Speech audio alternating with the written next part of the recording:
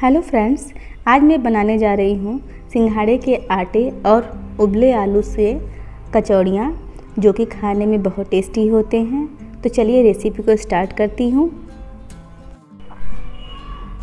मैंने लिया है एक कटोरी सिंघाड़े का आटा और सात से आठ उबले हुए आलू। कटी हुई हरी मिर्च है, ग्रेट किया हुआ अदरक है और हरी धनिया पत्ती है कटी हुई। सबसे पहले आलूओं को बहुत अच्छे से मैश कर लूँगी। आलूओं को मैंने उबाल लिया था, उबाल के अच्छे से ठंडा कर लिया था। अभी देखिए, आलू बहुत अच्छे से मैश हो चुके हैं। अब इसमें डाल लूँगी आटे को, और डाल लूँगी हरी मिर्च, अदरक और धनिया पत्ती को।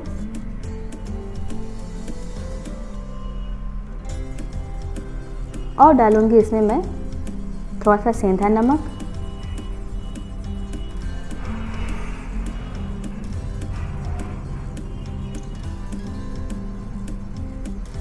और पिसी हुई काली मिर्च।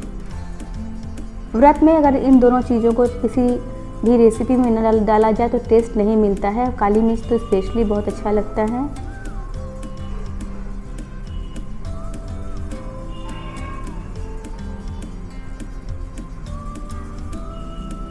सिंघाड़े का आटा मैं घर का ही बना हुआ यूज़ करती हूँ।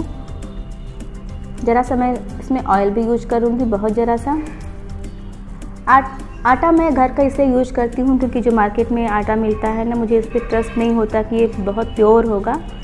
तो इसलिए मैं जब भी भी सिंघाड़े का आटा यूज़ करती हूँ तो मैं उसे घर में ही बना करके यूज़ करती हूँ। अब इन्हीं उबले आलू में आटे को बहुत अच्छे से मिक्स कर लेना है। पानी मैंने बहुत ज़रा सा डाला है। ताकि इसे अच्छे से बाइंड कर सकूँ। आटा का प्रोसेस पूरा होने पर मैंने हल्का सा ऑयल लगा दिया था, ये चिकना हो जाए। अभी तैयार है। ध्यान दीजिए, कभी भी आटे को गूंथ के ज़्यादा देर के लिए छोड़ना नहीं है, नहीं तो ये बहुत गीले हो जाते हैं। अब इन आटों की मैं लोइयाँ तैयार कर लूँगी। आटे अगर हाथ पे चिपकते हैं तो हल्का सा हाथों पे ऑयल लगा लीजिए। जिससे कि हाथों पे चिपके ना। ये देखिए, सारी लोइयाँ तैयार है। इसे मैंने हल्का सा चिपटा कर लिया। ये पेड़े की तरह हो गए हैं। अब मैंने एक प्लास्टिक शीट ले लिया था, जिसे मैंने पहले से साफ़ किया हुआ था। अब इस पर थोड़ा सा ऑयल अप्लाई कर रही हूँ। और ये चार पेड़े रख करके मैं इस पर ही इसको प्रेस करके बना दूँगी। इस तरीके से जो ये कचौड़ियाँ हैं, बहुत ईजीली बन जाती हैं। और जब हम चकले पे बनाते हैं तो क्या होता है कि चकले और बेलन पे थोड़ा चिपकने लगते हैं। मगर इस तरीके से अगर आप बनाएँगे तो ये चिपकते बिल्कुल भी नहीं हैं और बहुत इजीली बन जाते हैं। बिना किसी झंझट के। ये देखिए, पुड़िया तैयार हो गई हैं।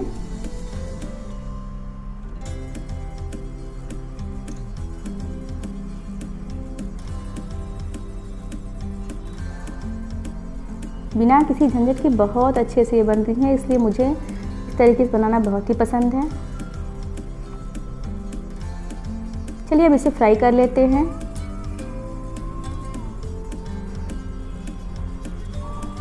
फ्लेम को मैंने मीडियम ही रहने दिया है। मैं इस को इसे फ्राई कर रही हूँ।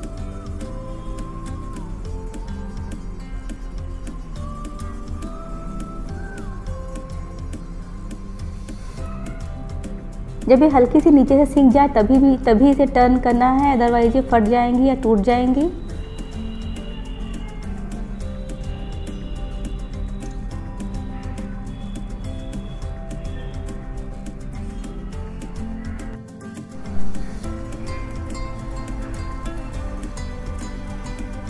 फ्रेंड्स अगर अब तक आपने मेरे चैनल को सब्सक्राइब नहीं किया है तो मेरे चैनल के नीचे लिखे हुए रेड बटन जो सब्सक्राइब लिखा है, उस पर आप ज़रूर से क्लिक करिए और मेरे चैनल को सब्सक्राइब कीजिए।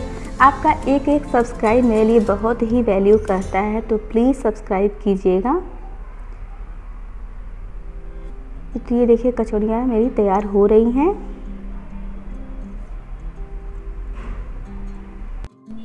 इन कचौड़ियों का आप हरे धनिया की चटनी के साथ या व्रत में खाए जाने वाले आलू टमाटर की सब्ज़ी के साथ सर्व कर सकते हैं। तो ये देखिए कचौड़ियाँ रेडी हो चुकी हैं। इसी तरीके से मैं अपनी सारी कचौड़ियों को फ्राई कर लूँगी। तो फ्रेंड्स अगर मेरा वीडियो पसंद आए तो प्लीज़ मेरे वीडियो को लाइक ज़रूर से कीजिएगा चैनल को सब्सक्राइब कीजिएगा। मिलते हैं नेक्स्ट वीडियो में। Thank you for watching